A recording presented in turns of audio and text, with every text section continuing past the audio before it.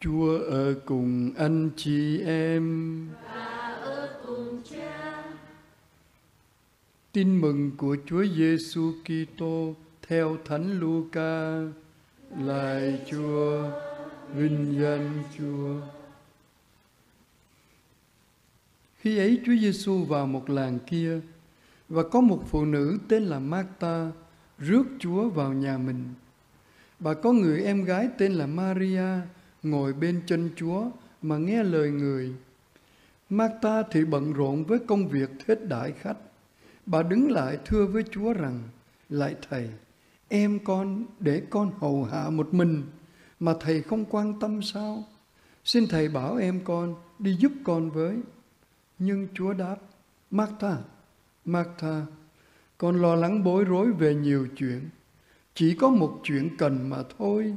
Chính Maria đã chọn phần tốt nhất và sẽ không bị ai lấy mất. Đó là lời Chúa. Lạy Chúa, người khen Chúa. Kính thưa quý ông bà và anh chị em, cho tôi ít phút để trở lại sáng thế ký. Bởi vì bài đọc 1 nói Thiên Chúa là tình yêu, cứ lặp đi lặp lại. Và đến cái ngày thứ năm, trước khi dựng con người, thì Thiên Chúa bàn với nhau. Hay không? Thiên Chúa bàn với nhau. Nào, chúng ta hãy dựng nên con người giống hình ảnh ta. Mà hôm nay chúng ta nghe xác nhận ít nhất ba lần Thiên Chúa là tình yêu. Như vậy là dựng nên con người giống tình yêu. Tình yêu đó là tình yêu của Thiên Chúa. Cho nên nếu như con người không giống hình ảnh Thiên Chúa thì con người sẽ giống những cái được tạo dựng trong những ngày trước. Mình hiểu ra mình mới thấy giật mình. Nếu như tôi sống không yêu thương thì tôi trở thành cục đá, cái cây, con vật hay là tinh tú Chúa dựng mấy ngày trước là vì mấy ngày trước Thiên Chúa không bàn hãy dựng nên giống hình ảnh chúng ta. Trong cái hệ lụy đó, mình phải thấy giật mình. Mà thật đúng, nếu không yêu thương, con người sẽ hành động theo cái chữ con, là con thú đi trước chữ người. Chỉ chỉ nói là một chút như vậy thôi, để mà chúng ta không không có giờ nhiều trong ngày thường. 21 năm trước, thế giới giật mình và họ đăng báo khắp nơi, nhất là những người Mỹ nói về nước Úc là vì cái biến cố Olympic năm 2000 cái hôm khai mạc, tôi có mặt, trời, vinh dự cho tôi tin chắc ở đây không có ai có mặt hết á trong cái lễ khai mạc hoành tráng, tôi dùng chữ đó, chữ trong nước bây giờ đang dùng. Tôi có mặt, trời, anh diễn nhé nhân viên trật tự nhé đi đây, đi đó. Oai lắm. Nó đẹp thật coi trong tivi không có cảm nhận được cái tình cảm mà người ta chia sẻ với nhau trong cái đêm khai mạc đó. Rồi cô Cathy Freeman, đại diện cho những người thổ dân, là một trong những lực sĩ chạy bộ nhanh nhất, đã mang cái cờ để đi gần những cái người đứng chụp hình. Trong đó có tôi. Trời ơi chứ phải nói nhỏ nhỏ thôi rồi thế giới bàng hoàng nói, bây giờ chúng ta khám phá ra một cái hidden paradise. Tạm dịch là một thiên đường được giấu kín. Có nghĩa là lâu nay họ coi mình tầm thường lắm. Thật sự đó tôi đi sang hoa kỳ mà những anh em trong dòng thôi mà hỏi ở bên đó có nói tiếng anh không? Bên đó tức là bên mình đây nè. Chắc là mình nói tiếng thổ dân cái gì? Akarabaramata maratmata gì đó rồi hỏi, dẫn tôi ra cái mall, tức là cái shopping center, họ kêu cái mall. Hỏi, bên đó có mấy cái giống vậy không? Mình cũng không dám trả lời là cũng to giống vậy. Cho nên lúc đó họ giật mình và họ nói, có một thiên đường dấu kính chứ lâu nay họ gọi mình là cái gì? Miệt dưới. Đau under miệt dưới. Nghe nó sắp thấp thật đó quý vị nhờ cái gì mà người ta đã nhận ra như vậy. Nhờ những người thiện nguyện viên, những người đã tập trong cái buổi lễ đó là thiện nguyện, những người đã hướng dẫn du khách từ phía trường cho đến nhà ga, từ nhà ga để đi vào Olympic. Tất cả đều được những người thiện nguyện viên làm phục vụ hết mình vì đất nước. Không kể tuổi tác, ai còn làm được là đi làm hơn bốn chục nghìn thiện nguyện viên. Sau đó, Thủ tướng đã có lời cảm ơn họ đó, có quy tụ họ lại đi diễu hành sau Olympic ở dưới đường phố Sydney. Cho nên thế giới ngày nay, nhất là ngày nay, đang cần những con người quên mình để phục vụ. Trong các gia đình cũng vậy thôi. Trước cái nhu cầu đó, biết bao nhiêu con người âm thầm hy sinh, làm không tính công vì lợi ích của người khác. Xã hội có nhiều tấm gương rất quảng đại, dấn thân trong mọi hoạt động, không chỉ riêng trong tôn giáo. Kinh Thánh thì nhắc đến danh từ phục vụ là mình nghĩ ngay đến cái bà Thánh hôm nay mình mừng, bà Marta. Một con người phục vụ, tôi không nói nhiều. Nhà bà ở đâu? Betania. Betania cách Jerusalem bao xa? Có ai tìm hiểu không? Tại vì Chúa giảng đạo ở Jerusalem thì đi về nhà này ăn cơm này. Có xa bằng đây lên Geranton không? Đố mà Chúa đi bộ nổi. Không, có hai dặm mà. Mỗi dặm là hơn một cây số rưỡi. Cho nên hôm nay nè, có ba lần Chúa đến nhà bà này. Hôm nay là một. Lần thứ hai là đám tang. Và lần thứ ba đến ăn mừng ông Lazaro sống lại. Chắc chắn có nhiều lần khác. Nhưng đặc biệt phải nhớ Chúa không đi một mình. Chúa đi là có bầu đoàn thê tử. 12 tông đồ là dân nhậu đấy chứ. Dân đánh cá là dân nhậu à. Rồi không phải tông độ không, môn đệ nữa. Cho nên tội nghiệp cái bà Marta, bà chạy đôn chạy đáo để nấu, nướng, dọn dẹp. Tội nghiệp thật. Nhưng bài học mà mình học được, bà thấy cái bất công là con nhỏ em cứ ngồi ì đó đó. Thay vì bà có thể đứng dưới bếp mà la lên. Như nhiều người mình thường làm, em mày, bố mày điếc hay mù hả mày? Tao làm muốn chết mày thấy không mày? Không. Bà cũng có thể tế nhị đến nhỏ nói với Maria, nói em đi giúp chị ta. Không, bà dạy cho mình bài học. Muốn điều chỉnh cái gì nhờ Chúa làm. Mình đâu có để ý tới cái câu đó bà đến bà nói thưa Chúa, thưa Thầy, nhỏ này nó để con làm con mình, Thầy không thấy sao? Hơi trách trách. Còn mình thì mình sẽ nhảy sổng vô mình, la hét lên. Đó là bài học. Khi muốn giúp ai trong gia đình để điều chỉnh, hay để cho họ thoát một cái gì, hay để giúp họ, đầu tiên hãy đến với Chúa, nhờ Chúa làm trước đó là sự suy nghĩ của tôi qua cái câu nói, và lúc đó Chúa trả lời, tôi không giải thích nữa Chúa đặt cái gì ưu tiên? Lần, một lần nữa là Chúa đến, cũng bà Marta chạy ra đón Chúa. Nếu thầy có mặt ở đây, em tôi không chết. Nhưng, bà nói hay không? Tôi tin, thầy có quyền năng. Lòng tin của bà, hồi nãy mình thấy sự phục vụ, bây giờ mình thấy niềm tin. Bà chỉ tiếc là chúa không có mặt, lúc em bà bị đau bệnh, chết chắc chắn là không phải corona rồi. Thời đó chưa có. Có thể bị cảm cúm đó mà không có thuốc cũng có thể chết. Rồi, chúa cho ông lazaro sống lại. Rồi lần thứ ba, chúa đến bởi vì phúc âm nhắc ba lần.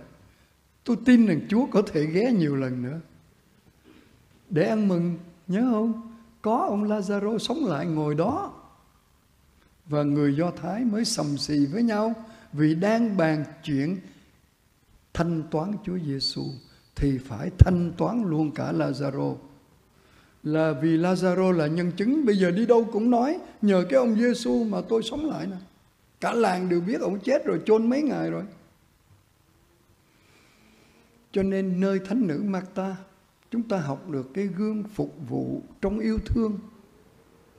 Đông người đến ăn trong nhà, quý vị biết rồi. Khổ lắm đó. nhưng còn một mình một bà làm đã có thời tôi thấy một bà đứng khóc sau bếp là vì cũng phục vụ cho bao nhiêu người đó mà làm không kịp. Khóc như một em bé vậy tôi thấy tôi cũng cảm động tính khóc theo rồi. Người đó có mặt ở đây. Vì muốn phục vụ mà thấy sức mình không kham nổi. Không chửi bới, chỉ đứng khóc thôi. Thật dễ thương á. Rồi bài học nơi bà Martha nữa là niềm tin và tin Chúa. Chúng ta hãy nhìn lại việc chúng ta làm từ trong gia đình cho đến nơi xã hội, cho đến nơi cộng đoàn này. Chúng ta phục vụ vì động cơ gì? Có thể cũng được danh thơm tiếng tốt một tí. Tôi thấy bà Marta bà không màng. Nhất là bài học. Khi cần phải điều chỉnh cái gì, cần phải giúp để khuyên một người nào, xin hãy nhờ chúa làm. Bà nói cái gương đó, mình không thể chối cãi đâu được. Thầy không thấy sao? Chồng con nghiện ngập, chúa không thấy sao? Vân vân thật dễ thương quý vị ơi mời quý ông bà cùng với tôi nên nhìn vào tâm hồn mình một chút để tìm ra ý Chúa muốn chúng ta phục vụ cái gì. Phục vụ bằng cách nào? Và đâu là cái ưu tiên? Ước mong rằng chúng ta phục vụ như bài hát mà ở Việt Nam, các lớp giáo lý rất thường hát, các nhà dòng cũng thường hát. Phục vụ là cho không, phục vụ là quên mình, phục vụ là không đòi đền đáp, phục vụ ơn nghĩa không màng. Hay thật, mặt ta đã làm gương cho chúng ta và ngài đã cầu xin cho chúng ta quý ông bà biết mình thường hát cái kinh hòa bình của thánh nào Francisco Assisi. Còn các em huynh trưởng mỗi lần nó tuyên hứa, nó cũng hát một cái kinh nổi tiếng của thánh nào? Biết chết liền. Tôi có nói nhiều lần lắm rồi đó. Thánh Ignaz de Loyola sáng lập dòng tên, còn Francisco Assisi sáng lập dòng Francisco. Lạy Chúa xin dạy con biết quảng đại để phục vụ Chúa như Chúa xứng đáng. Biết cho đi mà không tính toán. Biết chiến đấu mà không sợ thương tích. Biết làm việc mà không đòi nghỉ ngơi. Ghê không? Tôi trích ra có mấy đoạn đó đó. Để thấy cái gương của những vị thánh. Ông nói, lại Chúa xin dạy con đi. Vì con ích kỷ hay con yếu đuối Trong nhà dòng hồi đó tụi tôi hát thuộc lòng cái bài này.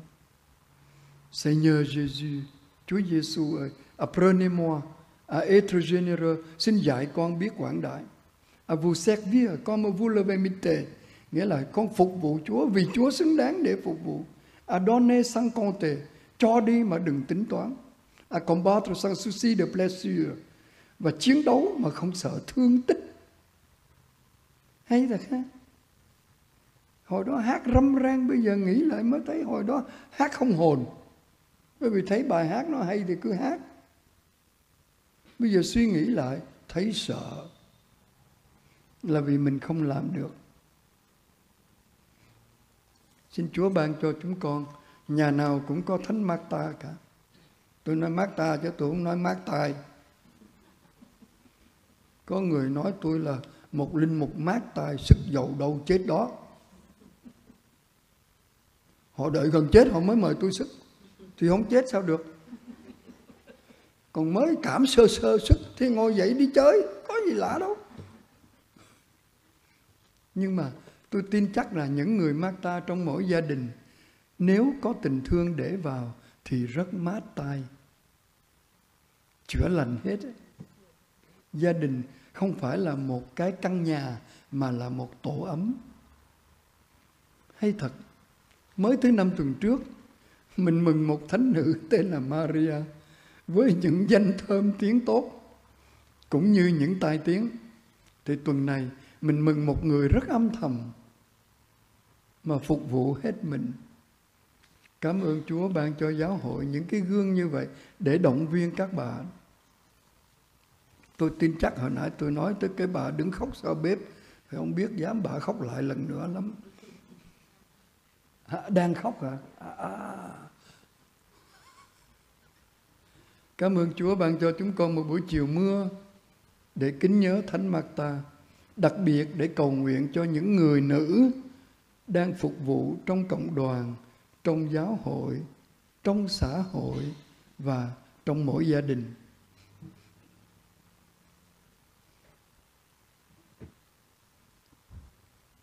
Tôi nhớ một cái chuyện được một cha là thư ký của một đức cha trong miền Nam kể lại lúc đức cha được mời ra giảng tĩnh tâm cho một nhà dòng ở Huế.